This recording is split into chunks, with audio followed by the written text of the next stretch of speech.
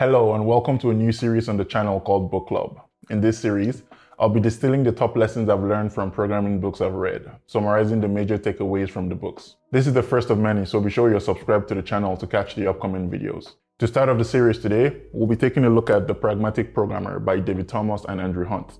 The book originally came out in 1999 and was so influential that it was used as a textbook to teach specific university courses. The second edition of the book, which is what I have here, was released in 2019 for the 20th anniversary of the book.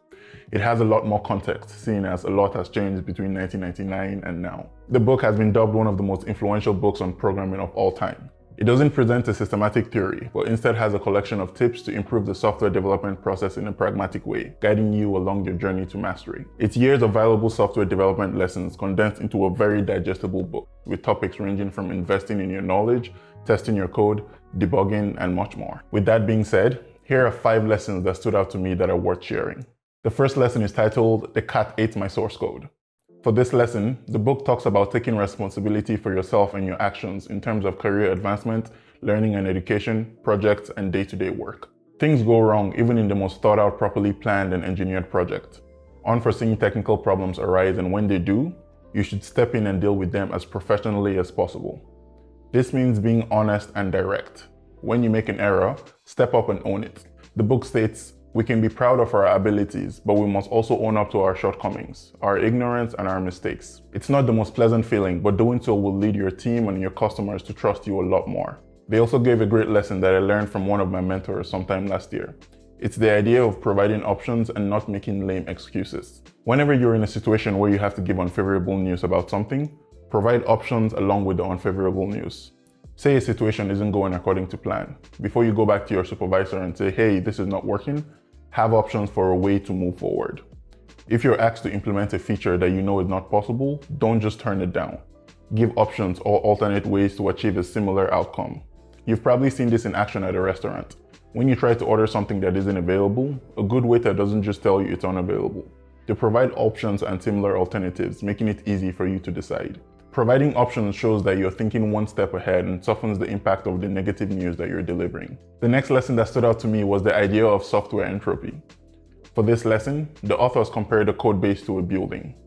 Researchers in crime and urban decay discovered that the difference between a well-kept intact building and a smashed abandoned building is a broken window. Once a window is left unrepaired for a substantial amount of time, it instills a sense of abandonment for the inhabitants of the building, showing that the people who own the building do not care about it.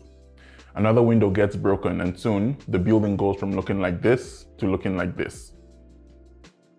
Here's a quote from the book. Don't leave broken windows, bad design, wrong decision, or poor code unrepaired. Fix each one as soon as it is discovered. If there is insufficient time to fix it properly, then board it up. Perhaps you can put a comment on the offending code or display a not implemented message or substitute dummy data instead. Take some action to prevent further damage and show that you're on top of the situation. People working on a project, especially folks new to it, tend to copy code snippets from one part of the project and paste it in another when implementing a new feature or fixing a bug. If that code was good enough for that part of the project, then it should be good enough here. If the original snippet they copied has a bad design, you can see how you can end up with a code base full of bad code. Whenever you see a broken window, Fix it before it spreads. Don't call it tech debt. You probably won't have enough time to get back to it. The next lesson is about communication. As developers, communication is a big part of our job, but many developers are not quite good at communicating. Having the best ideas, the finest code, or the most pragmatic thinking is ultimately sterile unless you can communicate it with others. Most developers are good at communicating the technical stuff with other developers, but tend to drop the bar when speaking with non-developers. Here are a few tips outlined in the book that can help. The first is to know what you want to say. Plan it out and have a written outline of the major points you want to come across. The second is to know your audience. Ask yourself the following questions using the WISDOM acronym. What does your audience want? What is their interest? How sophisticated are they? How much detail do they want? Who do you want to own the information? And finally, how can you motivate them to listen? Answering these questions are vital and will help you communicate effectively with whoever you're talking to. Tech companies like Apple, for example, have conferences every year. They have one for regular people who use their product and a completely different one for developers. The content and delivery for both are different because the answers to the six questions I posed earlier are completely different for both audiences. Communication is both about what you say and the way you say it. Let's move on to some technical lessons. The next lesson is about the principle of DRY, short for don't repeat yourself. As programmers, we collect, organize, maintain, and harness knowledge. We document the knowledge and specifications and make it come alive in code. The reality is most of that knowledge is unstable. It changes rapidly. The understanding of a requirement may change following a meeting with a client. The government constantly changes regulations and some business logic needs to be updated. All this instability means we spend much of our time in maintenance mode, reorganizing the code within our systems. It is easy to duplicate knowledge within our systems, making it harder for us to maintain it. The solution to this is to use the DRY principle.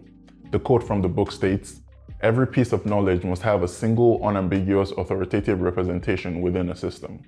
Here's an example directly taken from the book that shows this principle in action. Let's take a look at this block of code. It's a simple function that's supposed to print the account balances for an account. The first thing it does is print the account debits and credits. If the account fees are less than zero, it prints a negative sign followed by the account fees. And if the account fees are not less than zero, it prints the account fees. It then prints a blank line and does the same for the account balance. If the balance is negative, it prints the negative value of the account balance. And if it's not, it prints the account balance. There are three examples of duplication in this code. The first is a duplication of handling negative numbers. We can fix that by adding this function that takes the value and prints a specific sign based on the value. Our print balances function will then look like this, where we call our new function to handle the formatting of the values. This way, any changes related to formatting all values will only happen in one place. There is another duplication in the repetition of the field with the printf call, we can fix this by using our existing function, giving us this. The format account function will also print the account debits and credits, making all print statements uniform and leading to future changes in only one spot. What if the client asks for an extra space between the labels and the numbers? With this, we'd have to change five lines. We can remove this duplication by creating a function report line that takes in two values, the label and the amount. It then calls a new function that does the formatting, print line. The final print balances now looks like this. If we want to change the formatting, we can change it in only one place, the format amount function. And if we want to change the label format, we change only the report line function. This is a great example of how to avoid duplication of logic in code. Any logic repeated more than once should be wrapped in a function. This makes maintaining and reusing the code a lot easier. The book also goes into other types of duplication, like duplication in documentation, duplication in data classes, and a lot more. They also have examples like this that make it easy to understand. The final lesson is about testing. Of all the coding concepts I've learned, testing took me the longest time to grasp because I wasn't used to doing it. It was never enforced in college, and testing was the last thing on my mind when I worked on personal projects. My perspective then was if the code worked, it worked. No need to spend extra time writing tests to confirm what I already know. My stance on that has obviously changed as I've gone through scenarios and experiences that have helped me understand the importance of testing. The book recommends treating test cases as the first users of our code and states that testing also gives us vital feedback that guides our coding. A function or method tightly coupled to other code is hard to test because you have to set up a lot before you can even run the test. Making your code testable means reducing the coupling leading to cleaner code. Before you can test something, you also have to understand it. We've all been in situations writing code where a function is starting to look a little bit longer than it should. Deep down, we know we should probably split it into multiple functions, but we convince ourselves that it'll all make sense in the end. The function might work, but testing it properly will be a nightmare. Let's take our print account balance for example.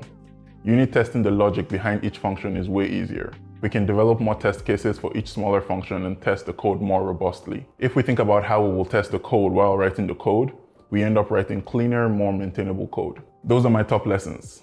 There's a lot more valuable information in this book, and it was tough to narrow them down to these five. The lessons I spoke about only skimmed the surface in some of the chapters. For example, the chapter on testing went into test-driven development, a very important concept in the current era of software development. I'll leave a link to the book down below the like button if you want to pick it up. If you can access a public library, they may also have a copy you can rent for free. I picked up this copy from the Seattle Library and getting it was a lot easier than I thought it would. That's it for this one. If you enjoyed the video, then consider subscribing. Thanks for watching and catch you on the next one. Until then, happy coding. Peace.